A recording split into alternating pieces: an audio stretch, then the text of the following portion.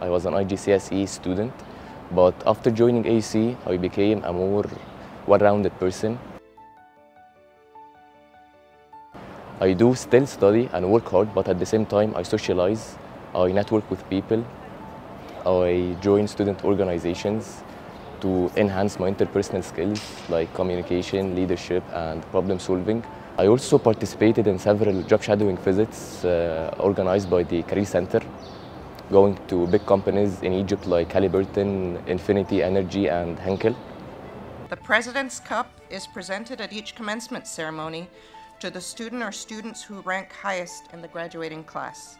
This year, we're pleased to announce that the winner is Omar Bassem Gamal, graduating with a degree in mechanical engineering.